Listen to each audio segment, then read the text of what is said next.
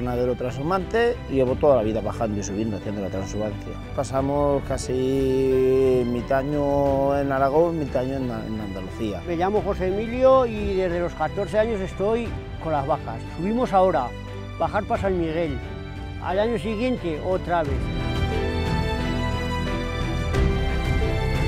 Hola, mi nombre es Daniel, soy brasileña y hago el doctorado aquí en la Universidad de Zaragoza y mi profesión es Animal Science, veterinaria. Creo que es súper difícil, súper sacrificado ser pastor y la transhumancia me parece un palizón. Hombre, yo creo que lo principal es tomárselo con calma, o sea que si vas de transhumancia no puedes ir a correr. Yo creo que esto no es un trabajo, sino una forma de vivir que hemos elegido. Estás ahí con el silencio, el, el ruido de las ovejas, no sé. Yo estoy muy tranquilo, estoy bien, a gusto.